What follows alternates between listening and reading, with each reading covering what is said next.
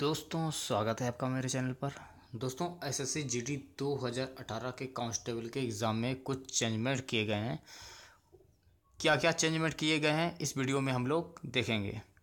तो जैसे जैसे कि दोस्तों एसएससी जीडी पहले, इसका पहले, इस फ़िज़िकल कराता था सबसे पहले, लेकिन अब एसएससी जीडी अब इसका सबसे पहले रिटर्न कराएगी। रिटर्न रिटर्न कराने के बाद जो उम्मीदवार इसमें पास होंगे, जो क्वालिफाई होंगे उन क्वालिफाई करने के बाद उनकी मेरिट लिस्ट बनेगी और मेरिट लिस्ट बनने के बाद उनको फ़िज़िकल के लिए बुलाया जाएगा। ठीक है, देखते हैं क्या है पूरा प्रोसीजर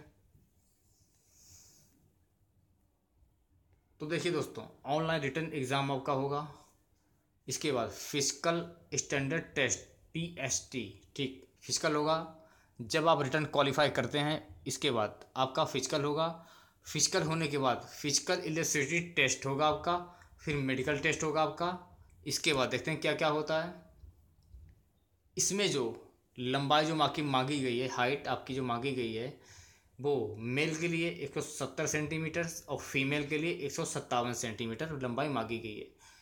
चेस्ट की बात करूँ तो चेस्ट मेल के लिए रहना चाहिए अस्सी सेंटीमीटर और एक्सपेंडेड बिट मिनट पाँच सेंटीमीटर वेट जो रहेगा मेल के लिए height and purse medical standards ठीक है? तो देखते हैं, अब मेल के लिए जो रेस है तो लड़कों के लिए पाँच किलोमीटर रेस चौबीस मिनट में कंप्लीट करना होगा। फीमेल के लिए, यानी कि लड़कियों के लिए वन पॉइंट सिक्स किलोमीटर, आठ सही, एक बटा दो मिनट में रेस कंप्लीट करनी पड़ेगी। अगर मैं रेस की बात करूँ फीमेल के लिए तो एक मिली इन सिक्स छः सही, एक बटा दो मिनट में रेस पूरी करनी पड़ेगी। और फीमेल के लिए 800 मीटर्स की रेस चार मिनट में पूरी करनी पड़ेगी। तो ये हो गया आपका रेस के बारे में पूरी इन्फॉर्मेशन। अब देखते हैं रिटर्न रिटर्न एग्जामिनेशन। इसका जो पैटर्न रहेगा क्या क्या रहेगा? The commission will conducted written examination of candidates after P S T PAT will consider exam exam, exam pattern जो रहेगा, exam pattern S S C constable G T exam, written exam is follow. देखिए आप।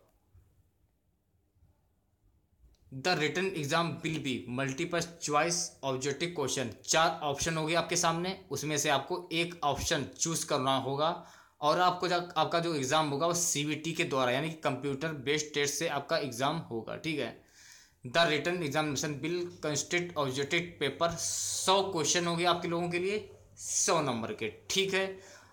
और इसमें आपको time दिया जाएगा, कुल दो घंटे का टाइम दिया जाएगा और आपका पेपर होगा एक घंटा बीस मिनट का, ठीक है? अब देख लेते हैं इसमें मल्टीपल चॉइस लेवल का सब्जेक्ट में कौन कौन से क्वेश्चन कितने क्वेश्चन पूछे जाएँगे, ठीक है? तो देखिए पार्ट वन से आपका जो क्वेश्चन पूछा जाएगा जनरल इंटेलिजेंस और रीजनिंग से, पच्चीस क्वेश्चन होंगे पच्चीस नंबर के, ठीक है? जनरल नॉलेज जनरल अवेयरनेस से पच्चीस क्वेश्चन पच्चीस नंबर के। मैथमेटिक्स की बात करें तो मैथमेटिक्स से पच्चीस क्वेश्चन पच्चीस नंबर के। इंग्लिश और हिंदी से पच्चीस क्वेश्चन, पच्चीस नंबर के। ठीक है? तो ये तो हो गया आपका सिलेबस कि क्या क्या पूछा जाएगा। जनरल इंटेलिजेंस रीजनिंग में क्या क्या पूछा जाएगा, आप सभी लोग जानते हैं। इसकी ऑफिशियल साइट पर जाकर आप पूरी जानकारी ले सकते हैं कि किस किस टॉपिक से कौन कौन से टॉपिक पूछे जाएँगे। ठीक है? देख सकते हैं पूरा पूरा इंग्लिश भी पूछी जाएगी इस बार।